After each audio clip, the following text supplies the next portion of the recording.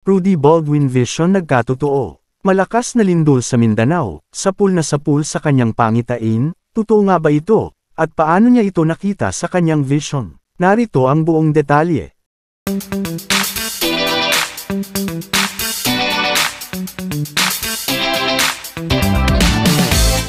Sa ngayon ay nakapagtala na ang Philippine Institute of Volcanology and Seismology o PhilVolcs, ng mahigit 700 aftershocks kasunod ng magnitude 6.0 na lindol na tumama sa Compostela, Davao de Oro noong ikaisa ng Pebrero. Hanggang alas 8 ng umaga, biyernes ikatlo ng Pebrero, nakadetect ang PHIVOX ng 745 aftershocks, na may magnitude mula 1.3 hanggang 3.6.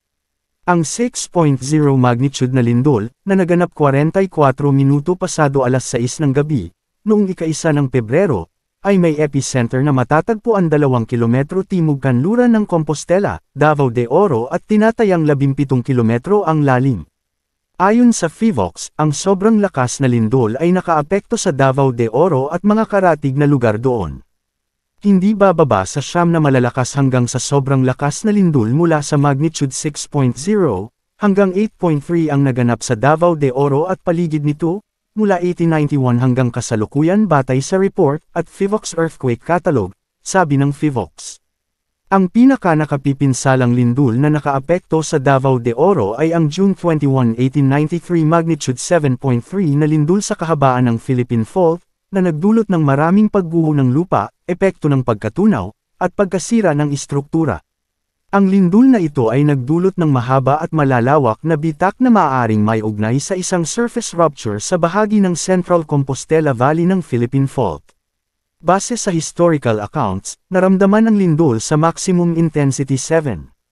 Ang naturang lindol na nangyari nakaraan ay naramdaman ito sa Davao City, hometown ni dating Pangulong Rodrigo Duterte, sabi ng Civil Disaster Agency ng rehiyon sa Facebook. Ang mga larawan at video sa social media ay nagpakita sa mga tao na lumikas sa mga shopping mall at isang universidad upang magbukas ng mga espasyo sa lungsod, habang ang mga ilaw na nakasabit sa isang simbahan ay umuugoy.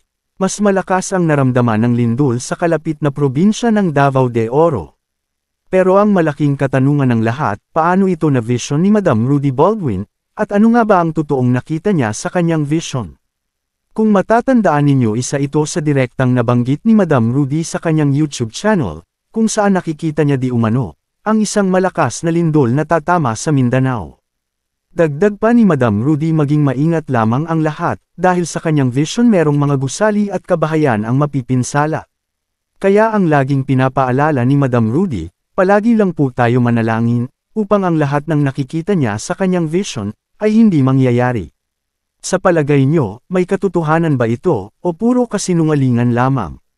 Ano ang masasabi nyo? Para sa mas marami pang showbiz at politikal na issue, palagi lamang nasubaybayan ang channel na ito. Maraming salamat po sa panunood, mag-ingat lamang po ang lahat at God bless.